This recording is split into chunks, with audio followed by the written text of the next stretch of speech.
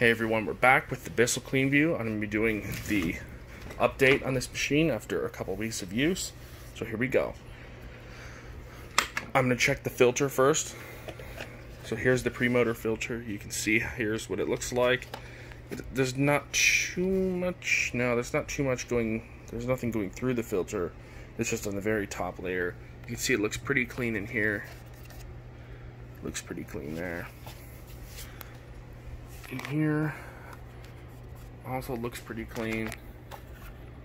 Let's check the post motor filter. I tip the machine over. I don't see anything in the post motor filter. I don't see any dirt coming out of it. Looks pretty clean. You can see the motor right there.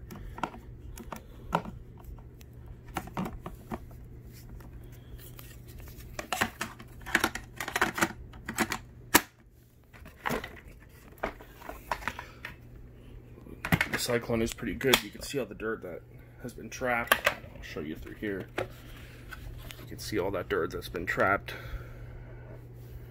in the bottom of the cyclone down there. Does a pretty good job, I have to say. Let's check here and see if there's any dirt getting through. I honestly don't see anything. So it seems like the pre-motor filter is doing its job. Anything that gets through will be trapped by the post-motor filter the brush roll. You can see I wiped the brush roll cover, this clear part, and it looks a lot better. Set to the height adjustment. Overall, it has pretty good filtration, a lot better than other vacuums in its price range. The suction power is decent. The tools are where it struggles. The tools are okay, but they're not really the best. I'm not a fan of the tools as much as I am on some other machines that I've used the Bissell Power Glide. I mostly use cordless vacuums for above the floor cleaning. I I mainly just use my uprights for the floors, and I use my cordless vacuums for everything else.